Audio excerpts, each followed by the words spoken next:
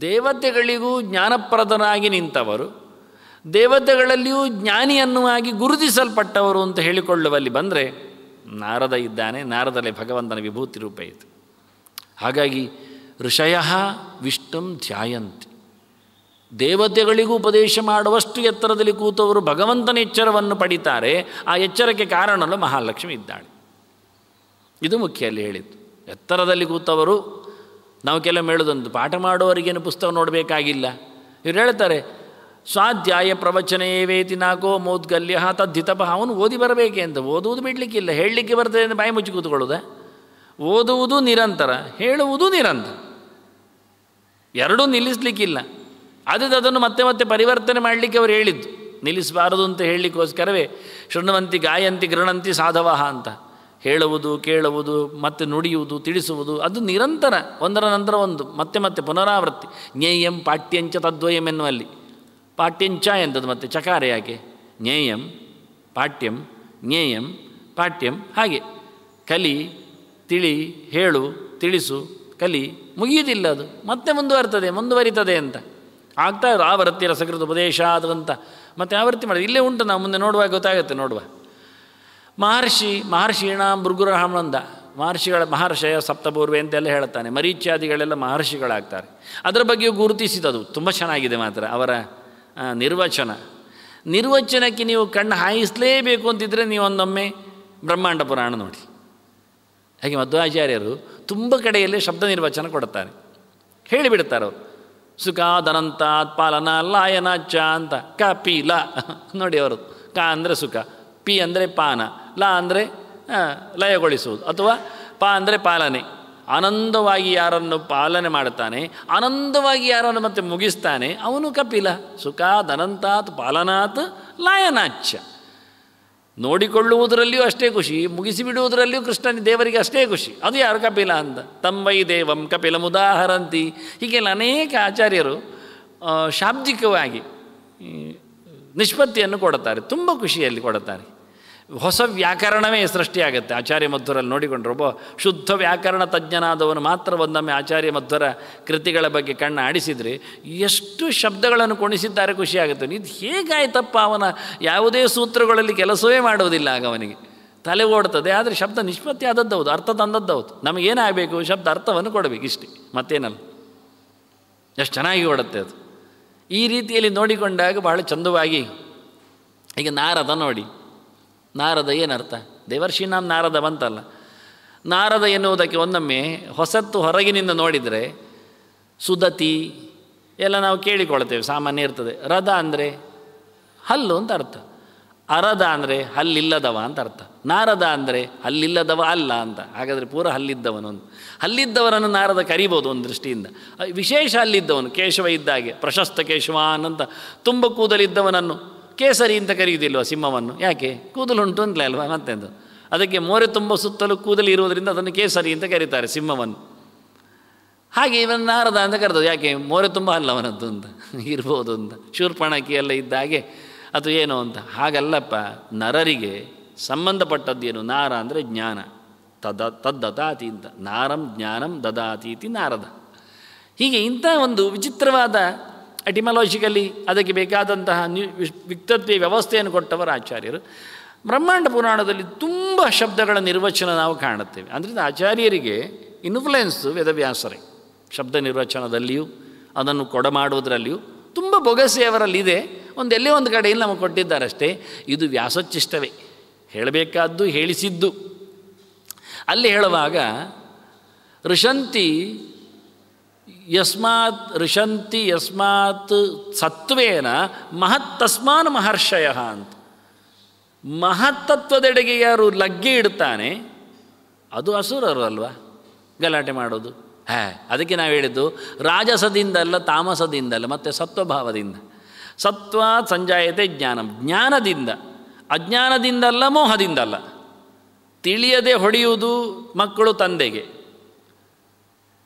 ತಿಳಿದು ವಿರೋಧಿಸುವುದು ದೊಡ್ಡವರನ್ನು, ಗುರುಗಳನ್ನು ಅಧಿಕ ಪ್ರಸಂಗಿಗಳೇ, ಅಪಶಿಷ್ಯರೇ, ಕೆಟ್ಟವರೇ ದೈತ್ಯರೇ. ಸೃಷ್ಟಿಯನ್ನು ಆಕ್ರಮಿಸುವುದು ದೈತ್ಯರು ಉಂಟು, ಮೂಢರು ಉಂಟು. ಗೊತ್ತಿಲ್ಲದವರು ಅದನ್ನು ನನ್ನದು ಅಂತ ಹೇಳುವುದುಂಟು. ಗೊತ್ತಿಲ್ಲದವರು ಹೇಳುವುದರಲ್ಲಿ ಸ್ವಲ್ಪ ಎಕ್ಸ್ಕ್ಯೂಸ್ ಇದೆ. ಅವನು ಪ್ರೌಢ ಆಗುವವರೆಗೆ. ಮಕ್ಕಳು ಹೇಳಿದ ಮಕ್ಕಳು ಹೇಳ್ತಾರೆ, ಇದು ಎಲ್ಲ ನಂದೆ ಅಂತ. ನೆಗಾಡಲಿಕ್ಕೆ ಬರ್ತದೆ. ನಮಗೆ ಇಲ್ಲಿ ಆಡುವಾಗ ಮಕ್ಕಳು ಹೇಳ್ತಾರೆ, ಇದು ಪೂರ ನಂದೆ. ಇಡೀ ನಾನು ಎಷ್ಟು ಮೇಲಕ್ಕೆ ಚೆಂಡು ಹಾಕ್ತೇನೆ ಅಷ್ಟು ನಂದು ಅಂತ ಹೇಳ್ತಾನೆ. ನಮಗೆ ನಗು ಬರುತ್ತೆ. ಅದೇ ಒಬ್ಬ ತಿಳಿದವನು ಹೇಳಿ, ಇದೆಲ್ಲ ನಂದು ಹೇಳಿದರೆ. ಎರಡು ಬಾರಿಸ್ತೇವೆ ನಿಂದ, ಐದು ಪೈಸೆ ಕೊಟ್ಟಿಲ್ಲ, ಎಂತ ನಿಂದು ಕೇಳುತ್ತೆ. ಆ ಮಗು ಹತ್ರ ಕೇಳಲಿಕ್ಕೆ ಹೋಗುವುದಿಲ್ಲ ಅಂದರೆ ಎರಡು ರೀತಿ, ಅದು ವಿಪರೀತ ಜ್ಞಾನದಿಂದ ಹೇಳಿದ್ದವ, ಇದು ಅಜ್ಞಾನದಿಂದ ಹೇಳಿದ್ದು.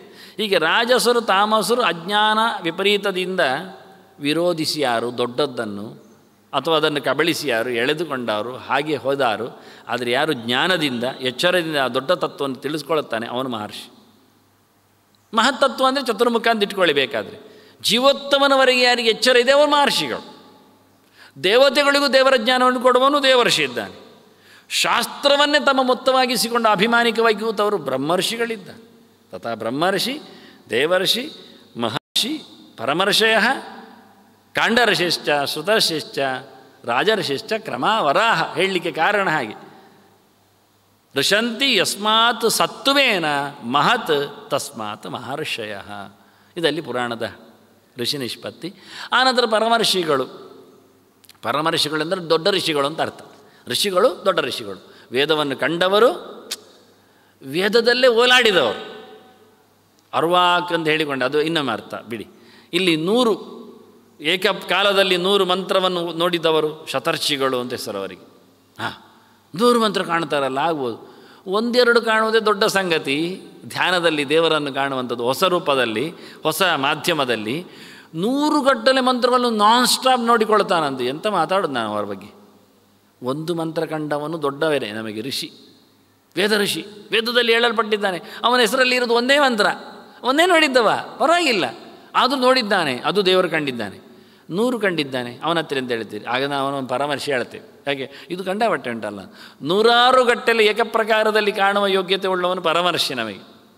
ಆದ್ದರಿಂದ ದೊಡ್ಡ ದೊಡ್ಡ ವಿಶ್ವಾಮಿತ್ರ, ಮಂಡಲ ಋಷಿಗಳು, ಅದು ಪರಮರ್ಷಿಗಳು ಹಾಂ, ಒಂದೊಂದು ಭಾರದ್ವಾಜ, ವಿಶ್ವಾಮಿತ್ರ ಇವರೆಲ್ಲ ಸಿಗ್ತಾರೆ. ಒಂದೊಂದು ಮಂಡಲವರ ಲೆಕ್ಕ ಗೃತ್ಸಮದ ಎಲ್ಲ ಬರ್ತಾರೆ. ಅದಕ್ಕೆಲ್ಲ ಬೇರೆ ಅರ್ಥ ಉಂಟು ಇತರ ಪ್ರಕಾರ, ಬಿಡಿ. ಅಂತೂ ಋಷಿಗಳನ್ನು ಪರಮರ್ಷಯ ಜಾಯಂತಿ ವಿಷ್ಣು. ಇವರೆಲ್ಲ ದೊಡ್ಡ ದೊಡ್ಡ ಮೊತ್ತದಲ್ಲಿ ವೇದವಾದ ಸಾಮ್ರಾಜ್ಯವನ್ನು ಇಟ್ಟುಕೊಂಡು ದೇವರನ್ನು ನೋಡ್ತಾರೆ ನೋಡಿ. ಮತ್ತೆ ಬಂದದ್ದು ಕಾಂಡಋಷಿಗಳು ಕಾಂಡಋಷಿಗಳು ಅಂದರೆ ಪಂಚಕಾಂಡಋಷಿಗಳು ಇದ್ದಾರೆ. ಸೋಮಂ ಕಾಂಡಋಷಿಂ ತರ್ಪಯಾಮಿ, ಅಗ್ನಿಂ ಕಾಂಡಋಷಿಂ ಸ್ವಯಂಭುವಂ ಕಾಂಡಋಷಿಂ ವಿಶ್ವಾನ್ ದೇವಾನ್ ಕಾಂಡಋಷಿಂ ಪ್ರಜಾಪತಿಂ ಕಾಂಡಋಷಿಂ ತರ್ಪಯಾಮಿ ಪಂಚಕಾಂಡಋಷಿಗಳು ಇದ್ದಾರೆ. ಅದು ಮೇಲಕ್ಕೂ ಕೆಳಕ್ಕೂ ಎಲ್ಲ ಸೇರ್ತಾರೆ. ಹಿಂದಿ ದೇವತೆಗಳು ಬಂದಾಗಿ ಬರ್ತದೆ.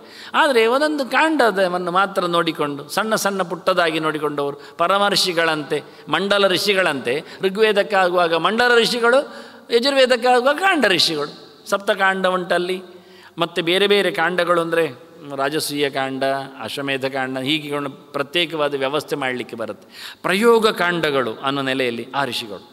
ಮಂತ್ರ ಋಷಿಗಳು, ಕಾಂಡ ಋಷಿಗಳು. ಪ್ರಯೋಗ ತಜ್ಞರು ಮಾಹಿತಿ ತಜ್ಞರು. ಮಂತ್ರಜ್ಞಾನ ಇದೆ, ತಂತ್ರಜ್ಞಾನ ಇದೆ. ಹೀಗೆ ಪರಮರ್ಷಯ ಕಾಂಡರ್ಷಿಶ್ಚ ಶ್ರುತರ್ಷಿಶ್ಚ ಇಲ್ಲಿ ಬಂತು ಶ್ರುತರ್ಷಿ ಅಂದರೆ ಕೇಳಿದವನು. ಕೇಳಿದವನು ಋಷಿ ಆಗ್ತಾನೆ ಈಗ, ಪಾಠ ಕೇಳಿದನು ಅದಕ್ಕೆ ಅರ್ವಾಗ್ತು ದ್ವಾದಶಾವರ್ತೆ ಎಂದು ಆಚಾರ್ಯ ಹೇಳಿದ್ದು ಹನ್ನೆರಡು ಬಾರಿ ಒಂದೊಮ್ಮೆ ವೇದಮಂಗಳ ಆಯಿತಾ? ವೇದಮಂಗಳ ಅಂದರೆ ಈಗ ಇವತ್ತಿನ ಪ್ರಕಾರದಲ್ಲ ಅದು. ವೇದ, ನಮ್ಗೆ ಇವತ್ತು ವೇದಮಂಗಳ ಅಂದರೆ ಅವನು ಹೇಳುವುದು, ನಾವು ಮೂರು ಸರ್ತಿ ಹೇಳೋದು. ಅವನು ತುಂಡು ಹೇಳೋದು ನಾವು ಮೂರು ಸರ್ತಿ ತುಂಡು ಹೇಳೋದು. ಅವ ಇಡೀ ಹೇಳಿದರೆ ಅದನ್ನು ನಾವು ಮೂರು ಸರ್ತಿ ಹೇಳೋದು. ಅವ ಇಡೀ ಕಡೆ ಒಟ್ಟು ಮಾಡಿ ಹೇಳಿದರೆ ಅದು ನಾವು ಅಲ್ಲೇ ಮುಗಿಯಿತು. ಆ ಮಂತ್ರ ಆಯಿತು ಕತೆ. ಹೀಗೆ ನಮ್ಮದು ಹತ್ತು ಸಾವಿರ ಮಂತ್ರ ಒಮ್ಮೆ ಮುಗಿದ್ರೆ ವೇದ ಮಂಗಳವೇ. ಮತ್ತು ದೊಡ್ಡ ಜನವ ವೇದ ಮೂರ್ತಿ, ವೇದ ಮಾರುತಿ ಎಲ್ಲ ಆಗ್ತಾನೆ. ಇದು ಪ್ರಯೋಜನ ಇಲ್ಲ. ವೇದ ಮಾರುತಿ ಅಂದರೆ ಮತ್ತೆ ಇನ್ನೊಬ್ಬರಿಗೆ ಕೊಡ್ತಾನೆ ಅಂತ ಅದಕ್ಕೆ. ವೇದ ಮೂರ್ತಿ ಆಗ್ತಾನೆ, ಸ್ವಯಂ ಮೂರ್ತಿ ಸನ್ ಅನ್ನೇಶಾನ್ ಮಾರುತಿ. ಹಾಂ ಇನ್ನೊಬ್ಬರಿಗೆ ಅದನ್ನು ಕೊಡ್ತಾನೆ ಮತ್ತೆ ತೊಗೊಂಡೋಗಿ. ಅದು ಪ್ರಯೋಜನ ಆಗಲಿಲ್ಲ. ಅದಲ್ಲ ವೇದಮಂಗಳ ಅಂದರೆ ವೇದದ ಅರ್ಥವನ್ನು ಪಾಠ ಕೇಳುವುದು. ಅದಕ್ಕೆ ಒಂದು ಪೀರಿಯಡ್ ಹಿಂದಿನವರು ಗುರುತಿಸಿದ್ರು. ಹನ್ನೆರಡು ವರ್ಷ ಆಗುತ್ತೆ ಅಂತ. ಆಗಿನ ಕಾಲದಲ್ಲೇ ಮಂಡೆ ಕಟ್ಟಿದ್ದವರೇ ಹೊರಗಿನದ್ದು ಚೆಂಡಿಗೆ, ಮಂಡೆ ಕೊಡದವರೇ ಹನ್ನೆರಡು ವರ್ಷ ಕಲಿಬೇಕು. ಈಗ ನಾವು ಕೂತ್ರೆ ಹನ್ನೆರಡು ವರ್ಷದಲ್ಲಿ ಎಷ್ಟಾಯ್ತು ಅಷ್ಟಾದರೂ ಕೇಳಲಿಕ್ಕೆ ಆಗುತ್ತಾದರೆ ನೋಡ್ಬೋದು. ಒಂದು ನೂರು ಮಂತ್ರದೆಡೆಗೆ ನಮ್ಮ ತಲೆ ಓಡಿದರೂ ದೊಡ್ಡ ಸಂಗತಿಯೇ, ಇಲ್ಲ ಅಲ್ಲ. ಅರ್ಥಾನುಪೂರ್ವಕವಾಗಿ ದೇವರ ಎಚ್ಚರವನ್ನು ಕಾಪಾಡಿಕೊಳ್ಳುವುದಾಗಿದ್ದರೆ ವಿಚಿತ್ರವಾಗಿ ಹೇಳಿದೆ ಇವತ್ತೆಲ್ಲಿ ನಾವು ಹನ್ನೆರಡು ವರ್ಷ ಕೂತ್ಕೊಳ್ತೀವಿ? ಖಾಲಿ ವೇದಕ್ಕೆ ಹನ್ನೆರಡು ವರ್ಷ. ತರ್ಕ, ವ್ಯಾಕರಣ, ಕಾವ್ಯ, ಅಲಂಕಾರ ಎಲ್ಲ ಸೇರಿಕೊಂಡಲ್ಲ. ಖಾಲಿ ವೇದದ ಚಿಂತನೆಗೆ ಹನ್ನೆರಡು ವರ್ಷ ಹಿಂದೆ ಹೇಳ್ತಿದ್ರು. ಅವನಿಗೆ ಇಷ್ಟ ಆದರೆ ಇನ್ನೂ ಒಂದು ವೇದವನ್ನು ಕಲಿಬೋದು. ಇಡೀ ಅಲ್ಲ, ಒಂದು ಶಾಖೆ ಕಲಿಬೋದು. ಮತ್ತು ಹನ್ನೆರಡು ವರ್ಷ ಕೂತ್ಕೊಂಡು ಅಂತ ಹೇಳ್ತಾರೆ.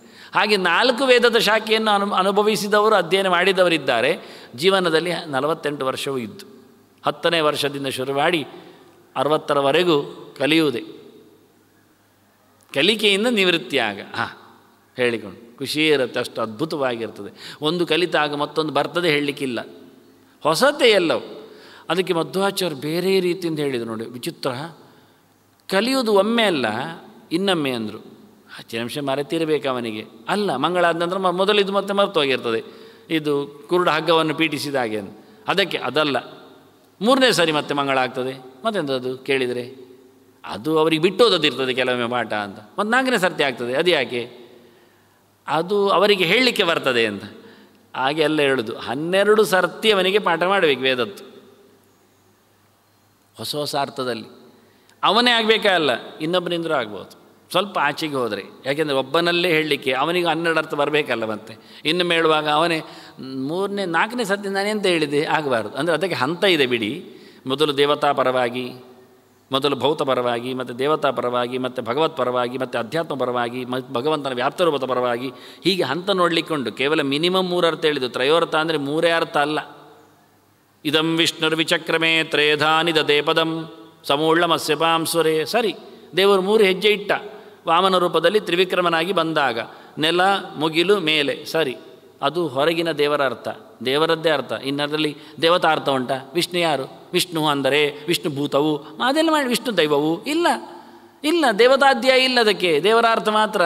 ಭೌತಾರ್ಥ ಇಲ್ಲವೇ ಇಲ್ಲ.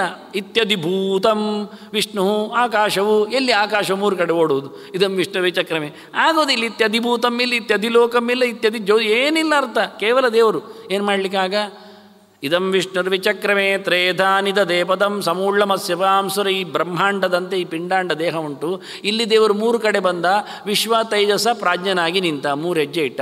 ಪ್ರತಿಯೊಂದು ಕಡೆಯಲ್ಲಿ ಒಂದೊಂದು ಗೇಣ ಆಗ್ತದೆ ಮೇಲಿನಿಂದ ಕೆಳಗಿನವರೆಗೆ, ಕೆಳಗಿಂದ ಕೆಳಗೆ ಬಂದಾಗ. ನಾಭಿಯಿಂದ ಮೇಲೆ ಹೃದಯದಲ್ಲಿ ಒಂದು ಗೇಣು ಒಂದಡಿ, ಅಲ್ಲಿಂದ ಕುತ್ತಿಗೆ ಒಂದಡಿ, ಅಲ್ಲಿಂದ ಸಹಸ್ರಾರಕ್ಕೆ ಬ್ರಹ್ಮಾಂಡಕ್ಕೆ ಅಥವಾ ನಾಭಿಚಕ್ರಕ್ಕೆ ಅಥವಾ ಆಜ್ಞಾಚಕ್ರಕ್ಕೆ ಒಂದಡಿ. ಆಯ್ತಲ್ಲ? ಇದಂ ವಿಷ್ಣು ವಿಚಕ್ರವೇ ತ್ರೇಧಾ ನಿಧದೆ ಪದಂ. ಇದು ಸ್ಥಾನ. ಹೀಗೆ ಅರ್ಥ ಮಾಡಿಕೊಂಡು ಅದ್ಭುತವಾಗಿ ಮಾಡಲಿಕ್ಕೆ ಇದು ಮೂರಲ್ಲ. ಭೂಸ್ಥಾನ, ಅಂತರಿಕ್ಷ ಸ್ಥಾನ, ಸ್ವಸ್ಥಾನ ಅಂತ ಬಾಯಿ, ಮೂಗು, ಕಣ್ಣು ಉಂಟು. ಇದಂ ವಿಷ್ಣು ವಿಚಕ್ರಮೇ ತ್ರೇದಾನಿದ ದೇಪದಂ. ಅಗ್ನಿ, ವಾಯು, ಆದಿತ್ಯನಾಗಿ ಭಗವಂತ ಇಲ್ಲಿ ಕೂತ ಇನ್ನೂ ಅರ್ಥಗಳಿವೆ ಬೇಕಾದಷ್ಟು. ಹೀಗೆ ಅರ್ಥಗಳ ಸಾಮ್ರಾಜ್ಯವನ್ನು ಅವನಿಗೆ ತೆರೆಸಬೇಕು. ಕೊಡ್ತಾ ಬರಬೇಕು ವೇದದಲ್ಲಿ. ಹೀಗೆ ಹನ್ನೆರಡು ಬಾರಿ ಕೇಳಬೇಕು ಅವನು. ಒಬ್ಬನಿಂದಲೇ ಬೇಕು ಅಂತಿಲ್ಲ. ಹಠ ಹಿಡಿಯುವುದಿಲ್ಲ ನಾನು. ಅನೇಕರಿಂದ. ಇದು ಆಗ್ತಿತ್ತು ಹಿಂದೆ. ಬಂದು ಕೂತ್ಕೊಂಡು ಕೇಳ್ತಿದ್ರು. ಬಹಳ ಖುಷಿ ಇತ್ತು. ನನಗೆ ಚಂದ್ರಿಕಾ ಪಾಠ ಆದಾಗಲೇ ಚಂದ್ರಿಕಾ ಪಾಠ ಆದವರು ಕೂತ್ಕೊಳ್ತಿದ್ರು. ಕೊರಳಲ್ಲಿ ನರಸಿಂಹಾಚಾರ್ಯ ಮುಂತಾದವರೆಲ್ಲ. ವಿದ್ಯಾಮಾನ್ಯ ನಮಗೆ ಪಾಠ ಮಾಡುವಾಗ. ನಮಗೆ ಹೊಸತು. ಅವರಿಗೆ ಅದು ಎರಡನೇ ಆವೃತ್ತಿ ಅದು. ಆಗ ಕೇಳ್ತಿದ್ರು. ನಾವು ಕೇಳುವಾಗ ಆ ಪ್ರಶ್ನೆಗೆ ಅವರು ಉತ್ತರಕ್ಕೆ ಹುಡುಕ್ತಿದ್ರು ಎಂತ ಅಂತ. ಅಲ್ಲಿವರೆಗೆ ಬರ್ತಾ ಇತ್ತು ಆಚೆ ಈಚೆ ಅಂದರೆ ಮತ್ತೆ ಮತ್ತೆ ಕೇಳಿಕೊಂಡಾಗ ಅದ್ಭುತವಾಗಿರುತ್ತೆ. ಯಾರ್ಯಾರೋ ಬೇರೆ ಬೇರೆ ವಿದ್ವಾಂಸರಿಗೆ ಸುಧಾ ಹೇಳಿಕೊಡುವ ಮೂಲಕ ಹತ್ತನ್ನೆರಡು ಮಂಗಳ ಆಗುವುದಲ್ಲ. ಒಬ್ಬನಿಗೆ ಹತ್ತನ್ನೆರಡು ಬಾರಿ ಹೇಳಿಕೊಟ್ಟಾಗ ಹೊಸ ಹೊಸ ಅರ್ಥಗಳಲ್ಲಿ, ಚಿಂತನೆಗಳಲ್ಲಿ. ಇದು ವೇದದ ಆವಿಷ್ಕಾರ. ಇದನ್ನು ಆಚಾರ್ಯ ಮುಟ್ಟಿದ್ರು. ಅರ್ವ ಆಗ್ತದೆ ದ್ವಾದಶಾವರತ್ತೆ ಅಂತ. ಹನ್ನೆರಡು ಬಾರಿ ಎಷ್ಟರ ಬಾರಿ ಅವನು ವೇದವನ್ನು ಅಧ್ಯಯನ ಮಾಡಿದರೆ ಅವನು ಆ ವೇದಕ್ಕೆ ಋಷಿ ಅಂತಲೇ ಅರ್ಥ ಅಂತ. ಋಷಿ ಅಂತ. ಋಷಿ ಅವನು. ಯಾಕೆ? ಅಷ್ಟು ಜ್ಞಾನವಂತ ಅವನಿಗೆ ಸಬ್ಜೆಕ್ಟ್ ನಾಲೆಜ್ ಬಂತು ಈಗ. ಅದಾಗಲಿ ಅಂತ ಕೇಳ್ತಾರೆ. ಡಿಕೋಡ್ ಮಾಡ್ತಾನವ, ದೇವರನ್ನು ಕಾಣ್ತಾನವನು ಅಂತಹ ಸಾಮರ್ಥ್ಯ ಎಲ್ಲಿದೆ ಈಗ? ಈ ಗೆರೆಯೇ ನನಗೊಂದು ಥ್ರಿಲ್ಲಿಂಗ್ ವಾಕ್ಯ. ಆಚಾರದ್ದು. ಯಾರೂ ಋಷಿಯಾಗ್ಬೋದು ಹೇಳಿಬಿಟ್ರು, ಹನ್ನೆರಡು ಸರ್ತಿ ಅಧ್ಯಯನ ಮಾಡಯ್ಯ. ಹನ್ನೆರಡು ಸರ್ತಿ ಅಧ್ಯಯನ ಮಾಡು. ಅದು ಹನ್ನೆರಡು ಎನ್ನುವುದೊಂದು ಡಜನ್ ಲೆಕ್ಕ, ಹನ್ನೆರಡು ಯಾರು ಮಾಡಿದ್ರಿ ಅನ್ನೋದೊಂದು ದೊಡ್ಡ ಸಂಗತಿ ನೋಡಿ. ಯಾಕೆ? ಅದು ಸಂವತ್ಸರ. ವರ್ಷಕ್ಕೆ ಹನ್ನೆರಡು ದ್ವಾದಶ ಮಾಸ ಸಂವತ್ಸರ ಅಂತ. ಹನ್ನೆರಡೊಂದು ವೈದಿಕ ಲೆಕ್ಕಾಚಾರ ಅದು. ಅದರಿಂದ ಬಾಳೆಹಣ್ಣೆಲ್ಲ ಒಂದು ಡಜನ್ ತಗೊಳ್ಳುವುದೊಂದೇ, ಲೆಕ್ಕ ಹಾಗೆ ಹಿಂದೆಲ್ಲ ಈಗ ಕೆ ಜಿ ಬರಲಿಕ್ಕೆ ಹೋಗಿ ಎಲ್ಲ ಮರ್ತೋಯ್ತು ಕೆಲವರಿಗೆ. ಹೆಣಿಗೆ ಆಗುವುದರಲ್ಲಿ ನೋಡಿ ಲೆಕ್ಕ ಮಾಡಿದ ಹನ್ನೆರಡು ಹದಿಮೂರು ಇರ್ತದೆ ಅದರಲ್ಲಿ. ಒಂದು ಹೆಣಿಗೆ ಅಂದಾಗ. ಅದಕ್ಕೆ ಲೆಕ್ಕ ಗೊತ್ತುಂಟು ಬಾಳೆಹಣ್ಣಿಗೆ ಗೊತ್ತುಂಟು ಡಸನ್ ಅಂದರೆ ಎಷ್ಟು ಅಂತ. ಮತ್ತು ಹದಿಮೂರು ಆಯ್ತಲ್ಲ, ತ್ರಯೋದಶೋ ವೈ ಮಾಸ, ಅದು ಉಂಟು ಮತ್ತೆ. ಅಧಿಕ ಮಾಸ ಅಂದಾಗ ಹೌದಲ್ಲ ಮತ್ತೆ. ಅದು ಬಿಡುವುದಿಲ್ಲ, ನಮ್ಮನ್ನು ಅದು ಮಾತಾಡಿಸದೆ ನಾವು ಅದನ್ನು ಮಾತಾಡಿದರೆ. ಹೀಗೆ ಹನ್ನೆರಡರ ಲೆಕ್ಕ ಬಹಳ ಅದ್ಭುತವಾಗಿರುವಂಥದ್ದು, ಬಹಳ ಸುಂದರವಾಗಿರುವಂಥದ್ದು. ಹೀಗೆ ಹನ್ನೆರಡು ಬಾರಿ, ಅದೇ ಹನ್ನೆರಡು ವರ್ಷ ವನವಾಸ ಎಲ್ಲ ಬರುವಂಥ ಮಾತು. ಮತ್ತು ಹದಿಮೂರು ಆಯ್ತಲ್ಲ, ಅದು ಒಂದು ಅಧಿಕ ಮಾಸ ಇದ್ದ ಹಾಗೆ, ಅಜ್ಞಾತವಾಸ. ಹೀಗೆ ಹನ್ನೆರಡು, ಹದಿಮೂರಕ್ಕೆ ಬಹಳ ಅರ್ಥಗಳಿವೆ. ಆ ನೆಲೆಯಲ್ಲಿ ಶುತರ್ಷಿಯ ಚಿಂತನೆ ಮತ್ತು ರಾಜರ್ಷಿಗಳು, ಹಾಗೆ ಋಷಿಗಳು ಧ್ಯಾನ ಮಾಡ್ತಾರೆ ಧ್ಯಾನಶ್ರೀ ಸಿಗ್ತಾಳೆ ಮತ್ತು ನಾಳೆ. ಶ್ರೀಕೃಷ್ಣ ನಾರಾಯಣ ನಾರಾಯಣ ನಾರಾಯಣ.